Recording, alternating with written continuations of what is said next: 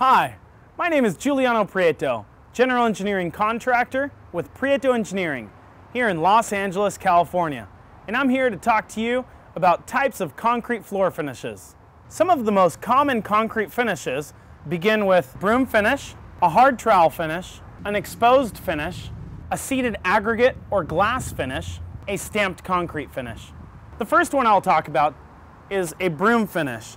Typically a broom finish is required in walkways and sidewalks, especially required by cities or municipalities. The reason why the broom finish is performed is because its traction and durability on the tread surface. The second one is a smooth finish or a hard trowel finish. A hard troweled finish is very easy to polish. Most interiors nowadays are being polished in order to take on a stain or just a highly polished look that almost looks like granite. This right here is a sandblast finish. Most of our finishes in this area are sometimes called exposed finishes. The exposures begin from a very light exposure, such as this one, and it moves all the way up into gradients, such as exposing the actual aggregate. The thinner the exposure, the more sandy it'll appear. The thicker the exposure, the more aggregate will show.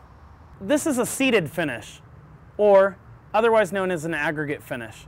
The reason why I call this one a seeded finish is because we've actually seeded it with glass. During the finishing process, while the concrete is still wet, we've added glass aggregate to the surface of the concrete. Then we've added a special retarder that allows for the concrete surface to stay moist until the following day where we remove that and expose the glass. This is a stamped concrete finish. What we've done is we've laid texture mats on top of the concrete while still wet and we've actually pounded the impression onto the surface of the concrete. There are so many different types of ways to create impressions on concretes through stamped concrete. They are truly endless. From wood finishes, from looks of tile, to random patterns, anything you could probably lay your eyes on can become a stamped pattern. Many of these types of finishes and patterns can be found on driveways, patios, walkways, and many other areas.